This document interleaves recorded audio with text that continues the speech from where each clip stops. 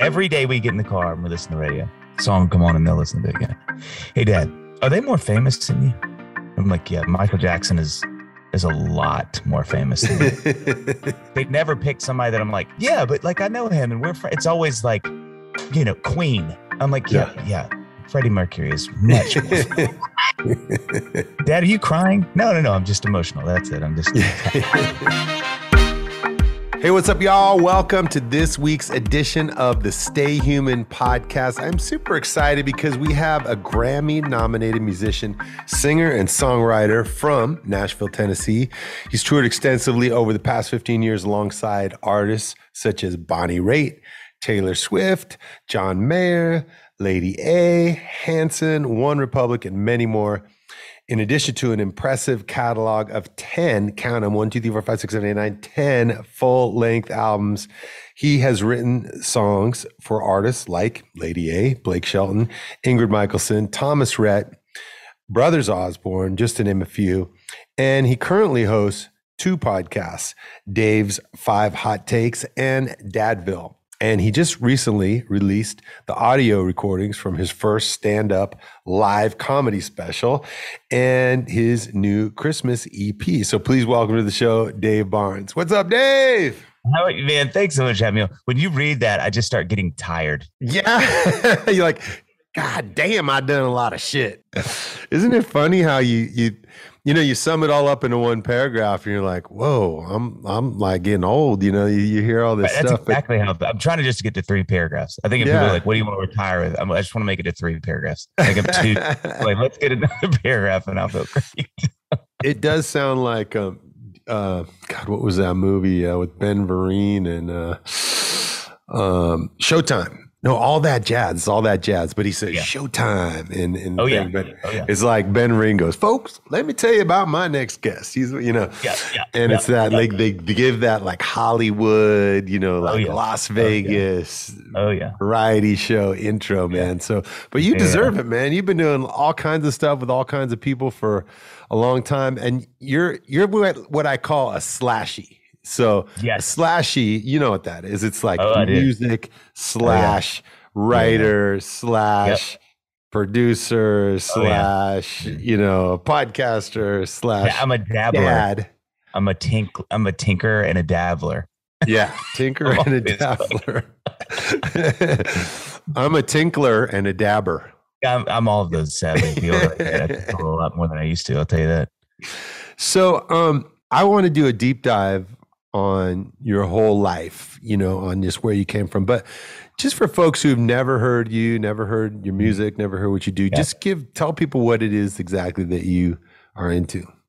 Well, you, you, nailed it. I mean, honestly, it's it's been one of the things I like the most about what I get to do is that I get to do a lot of really random stuff. Like I have I have occupational ADD, I have vocational yeah. ADD, and uh, so it's fun because you know some days I'm writing songs um, with and for other people, which is so great and really fun. In Nashville, it's interesting. Even in this, even in the 20 years I've been here, the, the town has changed a lot because it used to be almost exclusively Christian and country music.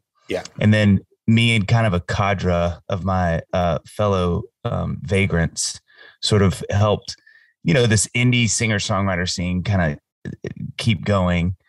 And then now you have all these people from LA come in, all these people from New York, yeah. and you know, like I was helping somebody write for this kind of musical thing the other day. So it's just it's it's really cool because on any given day as a songwriter, which is part of what I do, you know, you can be writing for anything, you know, from country to Christian to again musicals to pop to you know whatever so I do that. Um, I've been an artist the entirety of my career. I started doing that uh, when I moved here 20 years ago, and so that's always kind of the main thing that I do is you know doing shows and writing and putting out my own albums, which is really where a lot of my most of my joy and sort of like I hate to say it, but identity is sort of around is is that. So that's still kind of yeah. the main thing.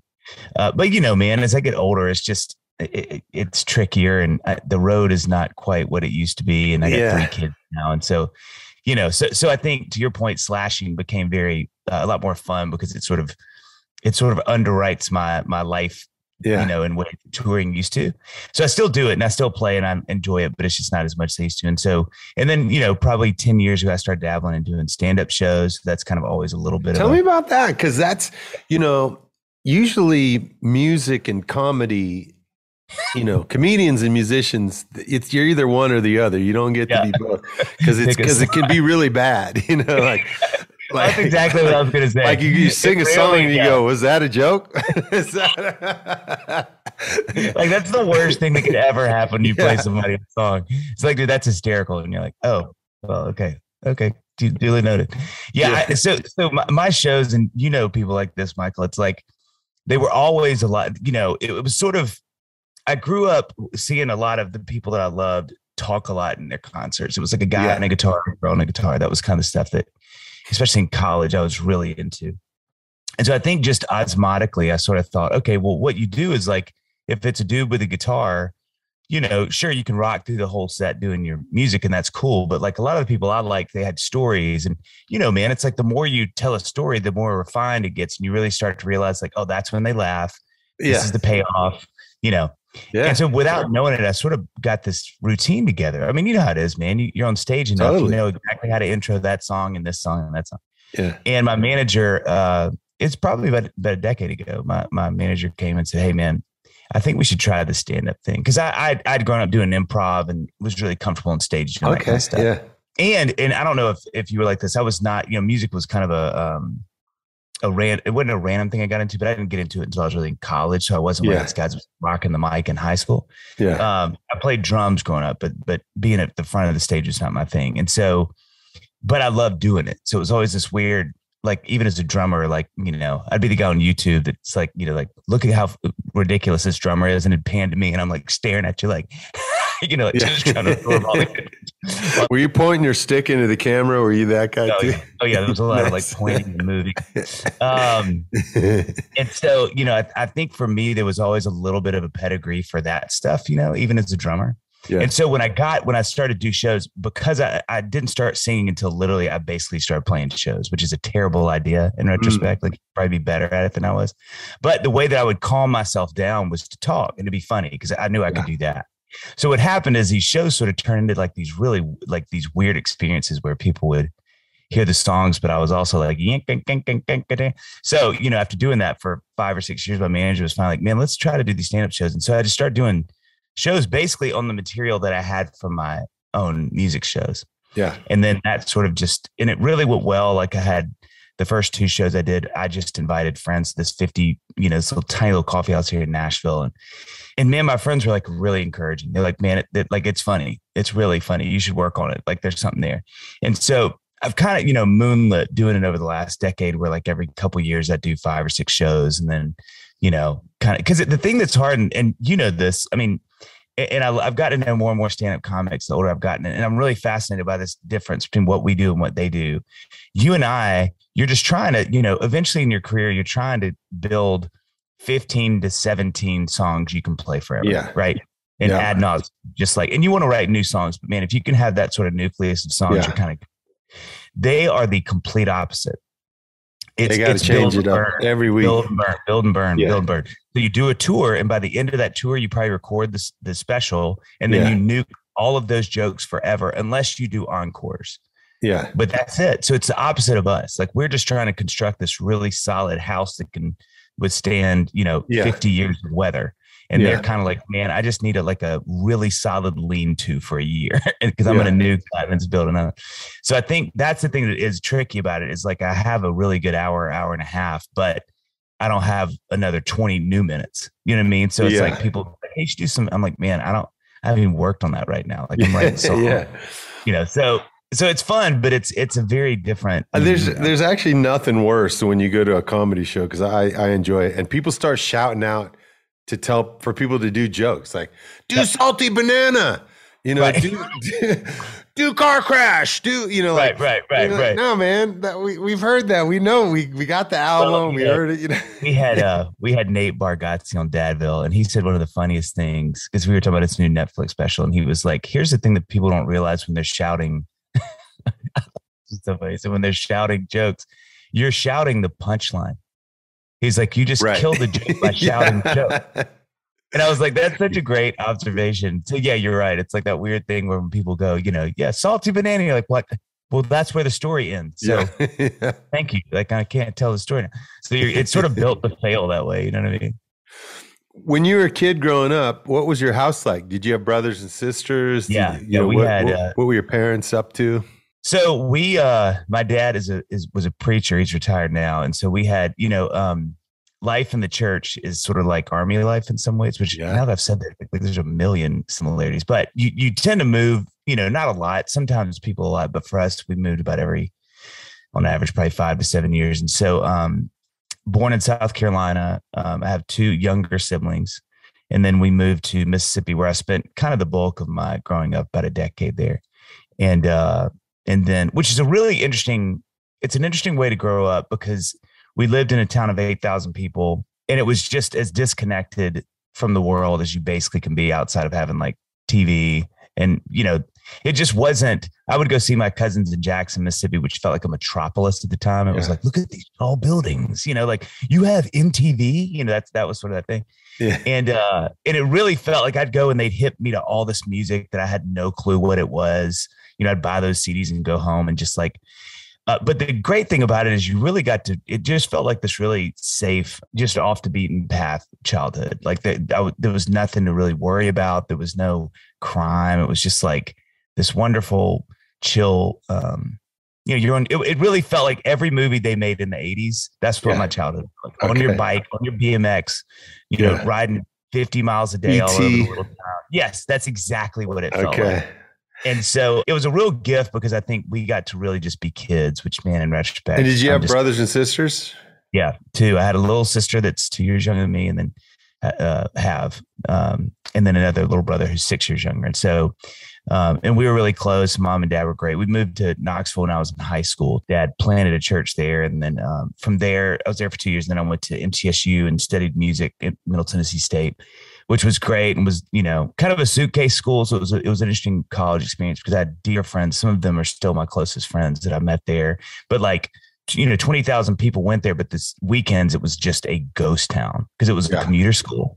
Yeah. And so it just, it was really fun because we kind of had lay of the land. It was just kind of like, you know, it went from feeling like this bustling, crazy week to like nobody was there. I mean, it was Yeah. like, and so you kind of had a run of the place. And Murfreesboro was a great little, it's a, it's a really fun little college town. So, but that's really where I got into music. And I think, So You on know, the think it- weekends, it, was just like you know you could turn your dorm room into like garage central was- and yeah, turn your was dead. amplifiers up. And yeah, yeah, nobody. just go wild and crazy. Yeah, it's great. I want to just pick up like when you were a kid growing up, um, and and you what, well, first of all, what did your mom do?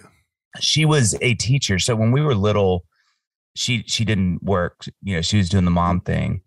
And then uh right about the time we were all kind of like, I mean, my little brother would have probably been like sixth or seventh grade. She started to teach again, Yeah, math teacher. my father was a math teacher, Oh yeah, man. and I'm uh, math is my worst subject, and I have Oh. four siblings, and they were all great at math except for me. And the thing was, we'd go, I'd go to school, and the teacher would say, "Oh, Oh, "No, you, okay, you're going to put it here, and you put the other number below it, and then you subtract it, and then you take the the the the subtract the divide it, and you multiply it, and then you get this thing, and you put an X on it, and then." And then, and then I'd go home and I'd try to show that to my dad, and my dad would go, "That's all wrong.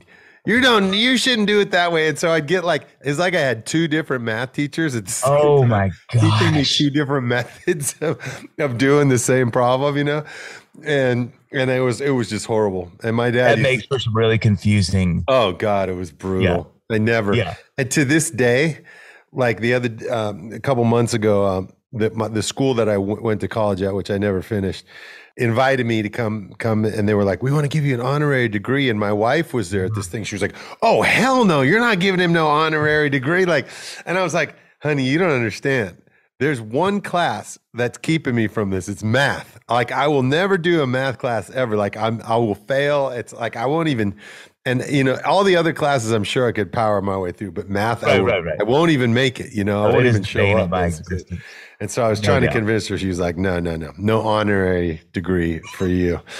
so I know what it's like to be the child of a math teacher and have zero That's like math a really skills. great book, by the way. Yeah. Sounds like an Oprah's pick the child of a math teacher. Yeah. Do child of a math teacher. Tell us that joke again. so Right. the, the other question I, I that that came to mind was when you're a kid growing up and you're watching your father preach.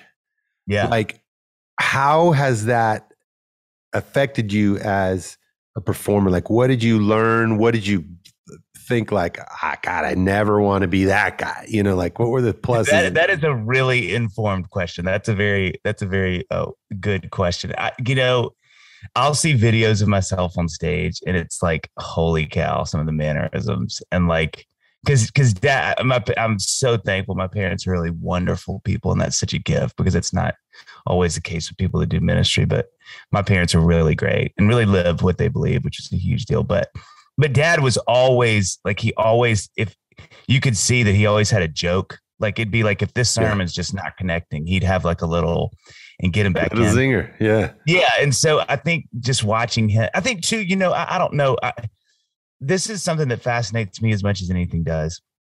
I think there's this crazy osmotic thing as a kid that you're taking in all of this information that you have no clue you're taking in, mm. especially mm. with your parents. And I think about with my kids, you know, when they see me play, I always think about this. I'm like, I just wonder what their brain is doing that they don't know they're doing. Like, and I think there's something when you have a parent that's on stage, that stage is suddenly not, it's a, it's a place that's known. It's not, yeah. I mean, not say my kids don't get nervous. My, one of my, my son's is about to do this thing where he's singing a couple songs in this play and he's terrified. He's 10 years old. But I also think there's a part of him that's like, this is, this is not a, this is a known entity. My dad yeah. does this. He stands all the things and he does it. Yeah. And so I think for me, even in, at an osmotic level, at a subliminal level, I think me seeing my dad be in front of people all the time sort of gave me this like, oh, that's like a thing. Like that's not, yeah. you know, somebody yeah. asked me to speak. I'm not like, I was like, okay, yeah. I'm nervous, but like, okay, this is kind of this is sort of family business. This sort of, you know, so I think there is something. That's a great question. I think there is something to seeing that that sort of gave me this space. It was like, man, I kind of I feel more comfortable up here than I thought I would because it's not this like unknown, you know, frontier. You know what I mean? Yeah. Did you ever think you might be a preacher? Is there ever a point in your oh, life? Yeah, yeah. I mean, before music got into it, I think that was never from my parents lord knows. I mean that was not something they were ever like this is what you should do. But i just think for me i was kind of like i just didn't have before i really got passionate about music i had no there was nothing that i was like like i wasn't the kid growing up hooping like oh you know I, would skateboard and stuff but it was, nothing was ever like i live to do this thing. Yeah. So when music came in and, and became what it became it was like you know, it was a big deal. But before that, it was like, yeah, I'll probably just go to like seminary and be like a youth pastor or something, and mm. you know, just professionally order pizza and watch movies with kids. You know, uh, but, not a bad uh, living. no, it's not, man. It's not good on your gut. But yeah, I think before then that was probably that was probably kind of. And again, man, I you know, I think it's that osmotic thing. I think as a kid, when you see your parent do something or parents. I think it's hard not to just think that's probably what you're going to do. I mean, that, that, yeah. I mean, as you know, it's like that was our world for hundreds of years. You know, really. Before, Absolutely, yeah. You know, technology and, and, the, the trade gets passed down. Oh yeah, yeah, it just gets passed down. So yeah. I think you know there is something deep, deep, deep in all of us. I really do believe that sort of like when you see your parents doing something, the first thing you think is probably I'll probably just do that, whatever that is. So that was definitely um, where I was until music, you know, came in and and rocked my world, little country girl. You know. Well, was your were your parents receptive to the fact that you were wanting to do music? Tell tell me the etymology yeah. a little bit of that of how it came to be. The etymology, okay. Yeah. Respect. You know, mom and dad were. um it's kind of their fault, honestly, because because my dad especially like loves music. Like he loves music. And so I think when I really started to get into it, like I played drums my whole childhood. And so it was kind of always around but I, I, I, will say, I think when I really felt like, man, I think I wanted to, because I got to college, I was playing drums. They didn't really have like a great drum program. They had like a great classical percussion program, which is a mm. wild different thing. Yeah. And has n- nothing to do with the drum kit. I've, and, always, uh, I've often wanted to be the guy who plays the cymbal in the oh, symphony right.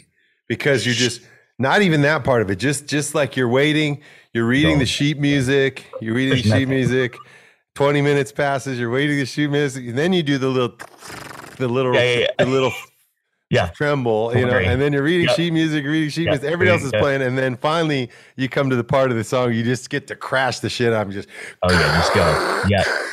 And just make the loudest noise in the whole thing. Oh yeah, I, I, I always wanted to be that guy, and I thought, man, how hard could it be to really be that. Like there's one note on the page and it's just There's somebody crash, listening to this you know? like, you have no idea how hard that is. yeah. You know, I spend my whole life waiting. Um, and then and then you miss it and then you're really oh yeah, you know, then you're done. Yeah, they bring in done. career over. year two. Yeah, yeah. Cymbalist. Yeah, I, I think once I got serious about it, like once I I started playing guitar, um, right before I got to college, my roommate had a guitar at college, and I don't know about you. I mean, I know you you came up through the hip hop world, but like for me, once I got an instrument that I could write on, that was what I did. There was no, I I, I didn't want to learn like blues scales. It was all about this thing was a utilitarian device to get me to writing songs. I'd never written songs. There was no pedigree for that. But something in my makeup was like, I think that's what I want to do with this. And so I'd never sung. But something in me was like, man, I just want to write songs. So once I started doing that and started to do like little, like I, my best friend sang the songs I would write. And then eventually he was kind of like, man, I think you should sing some of these songs right. And they're pretty cool. Once I started getting on stage doing that, it was like, oh, okay. Now Yeah. this is what I love, you know? Wow. And I think that, you know, my parents at that point, my mom really, my dad was kind of always like, you know, I think he was cool with it. My mom was a little more like, I remember one time we, t- she tells this story all the time and, and is so embarrassed by it. But, you know, I remember one time I went home kind of toward the end of college and, um, and I was really starting to feel like I think I want to do this like music thing. Yeah. And mom was like, I'll never forget because she's mom's greatest, but she came out to the car and she's like, Hey, I was about to drive off. She's like, Listen, I'm just nervous about this. She's like, You know, you've never done this. We've never done it. Like, you sure music is what you want to do?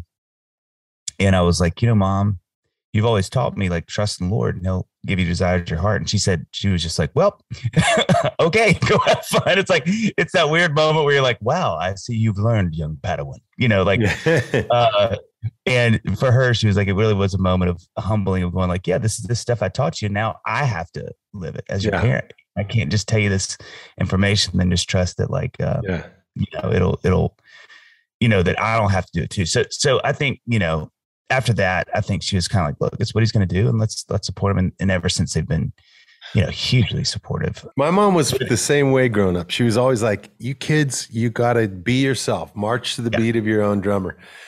Until I told him I wanted to be in a band with drummers, you know, and then it was like, "Don't come to me with those Jedi mind tricks, trying to turn my words back on me." like, you know, I, I she never really like said it outright, like "Don't do it," but she she never it was a long time into my career before she kindly gave me my stamp of You know, too, I don't know if you feel this way with age and wisdom, but like, you know, and, and having kids and whatever, but I, I get it a lot more now. Like, I think at the Yeah. time I was like, but you know, when you have a kid that comes to you and says, I want to do this guy, and, and you know, as well as I do, Michael, like music these days is a weird industry, man. It's nothing like it was 20 years ago. very Like, you know, challenging yeah monetarily.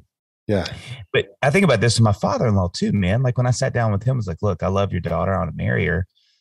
You know, he he we had a great conversation. He's a wonderful man. Um, but you know, he wasn't like, you really think this music thing's gonna he never did that. He was like, yeah you know, God will take care of y'all. Trust it's gonna be okay. But I just I now at, at 43, I'm like, if my daughter in 10, 15 years came to me and you know, here's this boy I love and he wants to do music, I'm gonna be and granted, you know, I'm privy to a lot more things than because I do it yeah or whatever he wanted. I want to be a filmmaker or something that's in that world, the arts. Yeah. I think it part of me is going to be like, bro, like this is my daughter, man. You know, like, Yeah. are you to be able to do it? You know, and so I think now I I have a lot more empathy for for my mom's plight, and I think anyone who was ever sort of like, you sure about this? You know, like how's this going to work?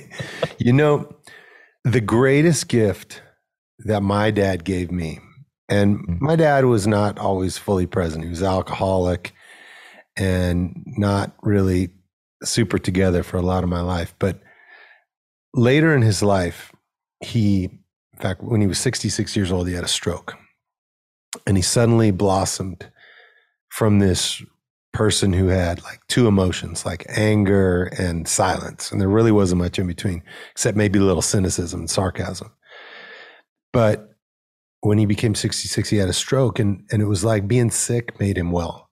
He Wow. blossomed from this really dark person into this really super loving person. And it was like he'd been in a cocoon his entire life and suddenly became a butterfly. And I, I had lunch with him one time when it was just me because with five kids you don't get to do that very much. Have like one on one so after his stroke had happened I, and he changed and i went and had lunch with him. And he said you know i'm really happy that you went and followed your heart and did music. And i was shocked because mm-hmm. he was really not super into it you know? And and he said to me if i had it to do all over again i would have become an architect but I always told myself that, you know, not everybody's going to want to build my building. But Mm. if I learn math, then I could be the math teacher who teaches the architects, and then I'll always have a job at least.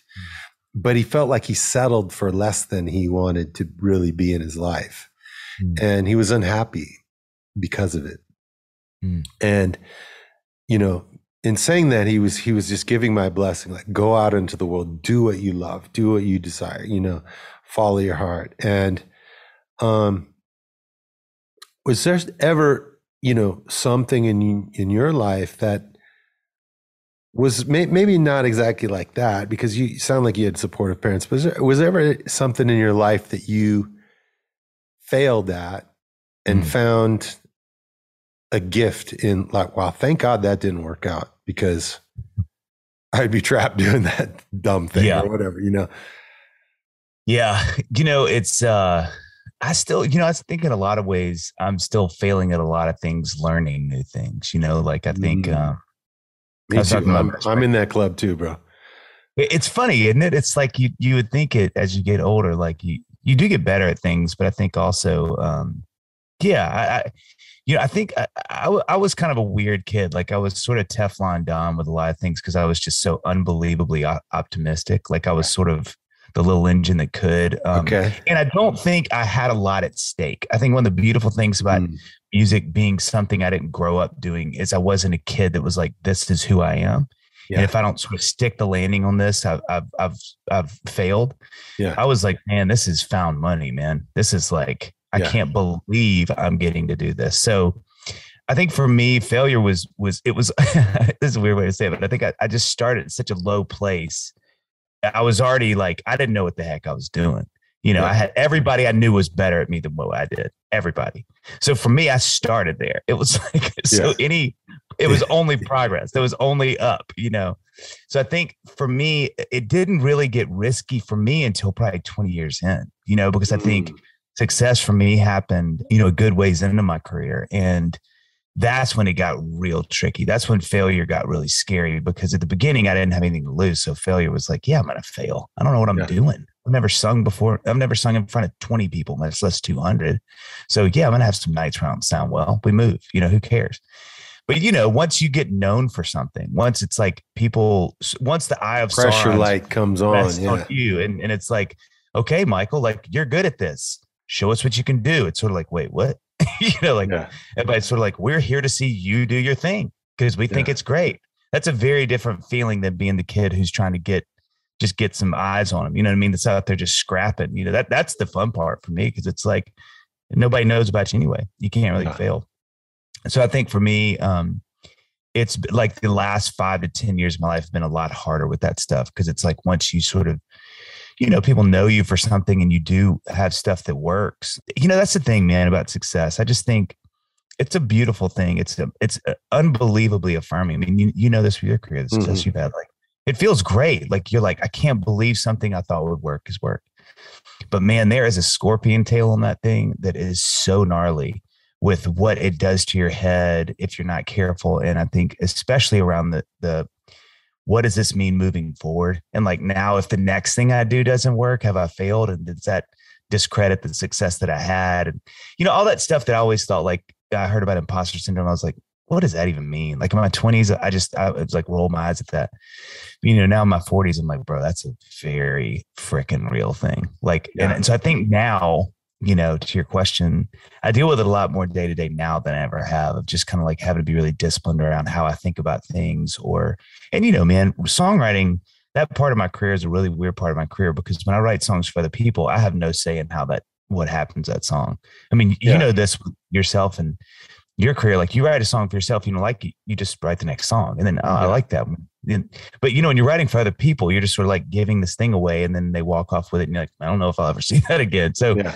That you know, if you're not careful, I think that can feel a lot like failure because you're like, I loved that song. They didn't like that song, and then yeah, and you just have no control over it. So it's a very precarious um, living. It's wonderful living, getting to create like that, but there's just so little control. So it's hard to not every time that happens, log it as failing. You know, like failed, failed, failed, failed, failed. failed. Oh, yeah, that worked. Okay, good. Now fail, fail, fail, fail. What was you the know. first song that you had that became successful?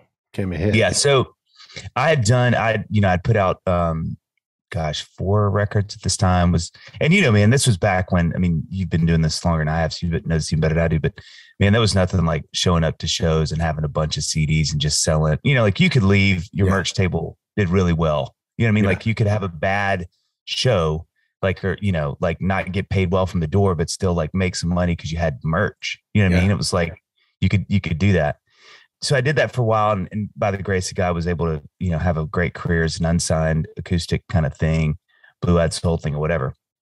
And then um, got signed to a label out of New York and did a couple records with them, and then and on one of those records was a song I'd written called God Gave Me You. And then I put that out first, which was really fun and it did really well, which was which was a whole other story. And then um, Blake Shelton, you know, who's on The Voice.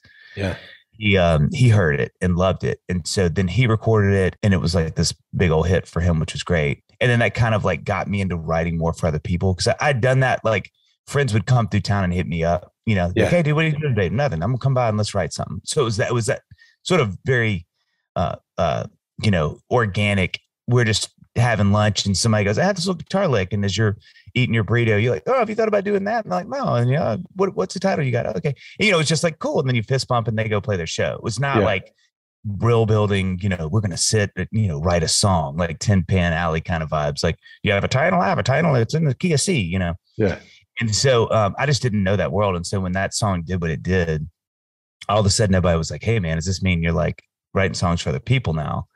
and you know i was so tired from touring i was like yeah sure and so then that's when sort of the professional songwriting thing came in where i you know i did my first like co-pub deal and and mm. would spend like half the week doing that you know um and since then i've had more hits which has been fun but uh, but it's just such a different thing, you know. I mean, you know that it, it's yeah. kind of that difference between like organic people sitting around just writing some songs, having fun, and oh, and then no, they went and cut it. That's awesome. To like, okay, you know, show up at 10, you got an idea, cool. What are you thinking? This is the vibe. Okay. You know, you have a great day, but it's like pro. You're like a pro. You know? it's like a bunch of pro songwriters. Yeah. You know? It's 459. Let's wrap this yeah. song up. Do we have yeah, a second verse yet? No, well, we better get one quick because we're out of here. exactly. Uh, yeah. So, so, you know, it's, it's, it's uh it's really fun but it all kind of came from that you know once you do that people tend to be like hey you got more of those i mean you know that yeah. Like you could just pull them out of any orifice of oh, I know. yeah i've got as many as you want. Yeah, yeah. um how is how is being a parent affected your your art and or your career? I mean you kind of described it you know how when you get to a point with you have kids and you know it becomes more challenging to be on the road all the time and to balance that that work life um, thing. And but but more than that how has it affected you as an artist and what you do and what you write about when you talk about you know what's crazy I, this is embarrassing to to say this out loud because it took me whatever 10 years to realize this is apparent. but I was talking to a friend of mine about this the other day. Like, I haven't ever really sat down and thought about this, but my music and your music, and it's going to be around kind of forever, right? Mm. And I never thought about how weird that's going to be someday when I'm gone, that my kids can still access that, that they can mm-hmm. still hear my voice, hear what I'm singing about, hear the music, all of it. You know, you've got yeah. a ton of records. I've got a bunch of records. It's like I just hadn't thought about it. And it really rocked me. I was like, man, mm-hmm. what a weird sort of like time machine for my kids and their grandkids and their kids and their kids and their, you know, like yeah. that they can always go back and go, like, this is great granddad's music. This is dad's music. This is even when I'm not here. Mm-hmm. And so I mm-hmm. think now I think so much about like the legacy of it, you know, like, you know, really going like, what am I saying? And what do I want to say? And, and, um, it's kind of this message in a bottle to the generations down the road a little bit, you know? And so I think it's a little more sobering because it's, I mean, and, and it's not like I need to make it anything that it doesn't need to be, but I do think it's, I just hadn't thought about that. And it really mm. messed with me in a really wonderful way, like a really sobering, beautiful way of like, gosh, you know, like there's going to be some day when I'm not here. My kids, whatever age they are, um, you know, can like, if they're missing me, like pull up a song on a drive home. Like yeah. it kills me, you know? Yeah. So I do think there's that's a beautiful part of it. I think, um, but you know, man, you know, it's like I think kids are this wonderful thing that just give a lot of context to a lot of other things. I mean, you have to be careful yeah. with that because it can't just be about your kids, but I think it helps me a lot in realizing what matters. You know, I think if I'm not careful, my career is sort of paramount and it's got a bunch of my identity and I'm like, okay, I'm only as good as my songs are or how people like them. And then you walk inside and your kids are, you know, hitching the nuts and you're like, go, and you're like, okay, back to reality, back to life. Yeah. So, um, so it is a real, it's really sobering. It's really beautiful. I, I get so much joy. I get uh, unbelievable amounts of joy knowing that my kids are around the music scene and they're around music and they're around creativity. And mm. so I hmm. really love that. That is, I think one of the greatest gifts I'm giving my kids is that they get to see, uh, they get to be around creative people and it's viable. Yeah. It's a it's a real career that is tangible. It's it's not magic. It's not like fairy dust. Like they come back to my studio in the backyard while I'm working and hey, what's up? What do you play that for me? And I'll play it on play. That's cool, Dad. You know, like I just think that's like the coolest thing. So they just give so much fun and context to something that can feel really nebulous and sort of, you know, uh, it's fun to kind of see them lean into it. And, you know, they still, it's my favorite thing. Like if I, they know I'm working on something, they'll just Dad, play what you're working on. You know, but, hey, put it on the car. I want to hear it. I want to hear it. You know, and they'll yeah. and you see them. They really listen. Like they're like, yeah, they're looking out the window and they're like, rewind it, Dad. Okay, that's cool. I like that. You know, and I'm like, God, what a cool thing. Nice. I mean, yeah. they're they're they're the toughest critics right there. You know, they are, man. You know, I've been like on this it. Beatles. I've been on this Beatles deep dive, and and one of the, I mean, this could last five hours, but one of the things that I think is really remarkable about them is playing that music for kids. Yeah. Because those kids, like it just sticks, man. It's like you can, well, we've been basically going through their catalog, driving to school every morning. And it gives me so much joy that, like, I'll pick, you know, I'll pick her, my wife pick the kids up and they'll get home and they'll be humming whatever song that we, and I'm like, that's, there's a million things about the Beatles that are genius, but man, if you really want to distill it to me, it is that a five year old can listen to, you know, Paperback Writer and later that day will be singing that song. Yeah you know that's what's that's what's remarkable about that stuff you know? Isn't it great? I have one son who he grew up right as you know the internet was sort of starting to pop off. And then i have another son who grew up during you know pretty much his whole life internet. And then i've got another son and who's now who's three who's full blown you know he's grown up yeah. with mom and dad on instagram you know? But my middle child is such an incredible musicologist because music for him has never been time dated. It was never like, oh, there's a new song out by Ed Sheeran, or there's a new song out by Alessia Cara, or there's a new song by, you know, Octavia, or it's, it's never been like that. It was always like, hmm, I'm just flipping through something, and here's the Smiths, How Soon Is Now. And then I'm flipping right. through something else, and here's Cannonball Adderley from mm-hmm. 1968 and then i'm yeah. flipping through something else and here's like iron maiden from you know 1976 and but it, there's no date on any of it. It's just yeah. as it's coming through his whatever feed that he's flipping through it all feels like it's brand new to him yeah. you know? Yeah. And that's such a cool way because my son is uh is so all over the place musically and yeah. and it all feels fresh, you know, in his experience. Yep. That's yep. such a cool thing. It is, man. It's a real, it's fun. It's like I've realized that for me, I know, I know the Beatles and I know when they created. My kids don't have a clue. Yeah. So they could be like, oh man, Lady Madonna, when did this come out? Yesterday? And I'm like, no, no, no. Yeah. No, no, a long time. And they're like, oh, well, it's really cool. Like there's yeah. no, con- you know, they're just like, it's good. That's cool. Yeah. You know, it's, and so it's fun to see them, yeah, you nailed it. Just kind of take music in as it comes. I, I do. I think it's a. Um, I, I, this is a whole other conversation, but I am really fascinated with what that's going to do to because I think that's something that is sort of important. This is where I sort of put on my old dad hat. I'm like, yeah. well, kids, don't you forget, you know, it's sort of like your dad when you came home with the math, and he's like, "Now let me tell you about real math." That, that's sort of how I feel sometimes because I'm like, I do think to understand music, the the the uh, chronology of it really matters. You know, I think that's why the Beatles mm. matter so much. Is what they gave birth to mm. is pretty substantial, and so that's some of why I want them to listen to it is to understand that you know so much of what we have now is only because of what they sort of laid the path for in a lot of ways. Yeah. You know? Otherwise, and, they're going to grow up thinking, "Man, those Beatles guys, they stole all my dad's songs." Can I tell you? This is one of my favorite things about being a musician. Maybe you shouldn't tell them. oh, my, my kids, they do this so much, and it is comical. Every day we get in the car and we listen to the radio. Song come on, and they'll listen to it again. Hey, Dad. Oh, yeah. Um, are they more famous than you? I'm like, yeah, brother. Um, they're definitely. And Michael Jackson is is a lot more famous than me. And they're like, and and they just log it back, and you'll next song comes on. Yeah. yeah um, is this guy more famous than you? I'm like, yeah, yeah, the Beatles, um, they're pretty well known. A lot of okay, cool, cool, cool. I mean, they it's like for some, they're trying to understand where I live, like what, yeah. ha- you know, and so and it's always like they never pick somebody that I'm like, you know, yeah, but like I know him and we're friends. It's always like, you know, Queen. I'm like, yeah, yeah, yeah. Freddie Mercury is much.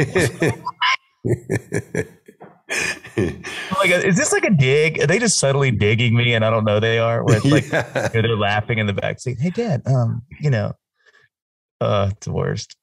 When they when they when they hit like the sixteen year old area, they're gonna they're gonna they're, they're, gonna pull that out as their game. You know, like let's oh see if we gosh. can trick Dad with this one again.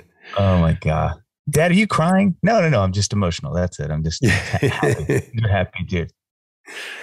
Hey, I got one final question for you, um, which is the one I ask everybody on the show, which is how do you define being human? What does it mean for you to be human? And how do you stay that way? How do you hold on to your humanity in this crazy world that we live in? Man, what a great question. You know, I think for me, it's about being present, like whatever mm-hmm. that means. Because mm-hmm. uh, I do not want to do that. Like, if, if my North Star is moving. I want to go. Like, let's go to the next thing. Yeah. What's the next? So for me, I think it's about speed of life. It's about like, if you're sad, like be sad. You know, if you're um, lonely, like be lonely. If you're uh, happy, man, be happy. You know. But I just think it's about being being present. It's about like being a human where you are at that exact mm. moment. And I think that's really hard for me. And I think as I get older, that's something like just practicing presence, just like really trying to not move through the human experiences that are really hard, but really going like, man, this is just part of being a human. Like having somebody hurt your feelings is, hey, it's just the way it goes. Having your kids um, not listen to you, you know, having your car pop a freaking tire, but just going, hey, this is like, here I am. You know, like I think that for me is is is something that um it feels very human. It feels like kind of honoring this this plight we're all on, as opposed to sort of just fast forwarding to the best, the greatest hits. You know what I mean? Yeah. it's like we said all the songs, sort of like, you know, like living through those too. Um, but I think that's probably how I do it. Oh, that's awesome, man. I, I really resonate with that because, you know, as a dad, especially, um, you know, I remember moments where I'd be like swinging my kid in the park and 20 minutes would go by and I'm just like, oh, here I am, like swinging my kid. Like, where did this 20 minutes go when I was, could, could have been focusing on what was happening right in front of me. But my mind was just so in so many other distracted places. And it's been a, you know, it's just like you described, it's been a journey throughout my adult life of really working on focusing in that way and working on being present and especially for the people that I love the most. You know, mm. that's the greatest gift is to be able yeah. to be there as that kind of listener and participant in the conversation and and and and intuit of their emotions and being able to hold space for them. So that's uh, one of the things. You know, I'll, I'll, tell you one of the things that um, still in Dadville, you know, we talked to these dads. One of the things that a guy said to me once, I think about maybe as much as I think about anybody, anything anybody said is he just said, you know, every now and then, this is a guest on the show. He said, every now and then when I get around families that like the kids are grown and they still all like hang out. So I'm like, mm. well, you, everybody still kicks it. Like this isn't like the kids get out and like, I never want to come back, see you. Like they actually enjoy being together. Like their grown dad loves being with the grown son and vice versa. He said, I always ask him like, what kind of made like he asked he said i asked the parents he's like what did you do to sort of create this culture in your family and and he said it is almost always in every scenario that he's been in it's almost the same answer and it's just to stay interested mm. and i think to your point michael like you got to be present to be interested like you got to be in the moment that when your kid comes in and goes dad check this out yeah and you go and you sit and he shows you the marble game he just did, and and you're not. And for me, I'm not going. God, do I like that chorus? That should we should change keys to A. Eh. But I'm going like, look, the ball goes here and it goes, dude, do it again. Let me see it. And and I think to your point, it is such a gift, especially as you said. I can't say that enough to the people that we care about because to stay interested, you got to stay present. You know, and I think it's I think about that all the time. Like what a gift that is to especially my kids and my wife um, and friends. But like to them especially that when they go hey check this out that i'm like all right i'm here like i'm eyes on i'm with you like this matters to me too you know and i think your kids growing up feeling like that that they matter to you in those yeah. small little moments i think are what really actually builds out the whole thing you know yeah. uh, it's not really the moments we wish where they sink the basket and you're over there giving them the thumbs up i mean sure that's part of it but i think it's these really yeah micro moments that they're like, he just kind of always seemed to be tuned in. You know, my my friend Joey had a great way of summing that up. He said, "There's four magic words that you can use that will help you in any relationship in your life." I was like, "What?" And he said, "Tell me about it, dude." I mean, Tell isn't that me? It.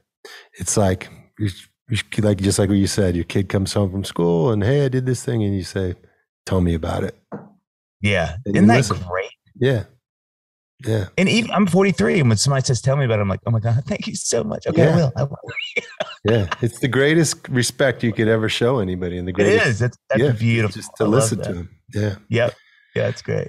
Well, Dave, it's been awesome listening to yeah, you and sharing this time with yeah. you. And uh, can folks see you this year? You're you going to be hitting the road at all this this touring we're doing uh, we're doing some kind of different touring. We hadn't announced yet, but yeah, I'll be I'll be out doing some. I always do Christmas shows. I do Christmas okay. show every year, so we're definitely doing that. But uh, yeah, we we're we're uh, we're developing this thing. We're about to announce what we're going to be doing. So um, awesome!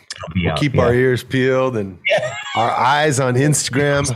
I'm going to be looking at Instagram ten hours a day to find out what you're up to next. Oh my gosh, that's um, great. Check out Dave's five hot takes and check out the Dadville podcast and his first stand-up live comedy special, which has just been out. And go ahead and do a deep dive on all his music and. Um, uh, man, it's been awesome to have you on the air. So thank you so much for having yeah. me. Thank you on behalf of uh, Gibson Guitars to all our listeners out there. Gibson is doing incredible things. If you're in Davestown, Nashville, go stop by the Gibson Garage. It is a, a sight and experience to behold just to be in the, the, room with all these incredible guitars, whether you play guitar or not. It's just a, such a historic experience and it's super fun. So go go check out the Gibson Garage in Nashville. And as always, we just want to say thank you and stay human. Peace.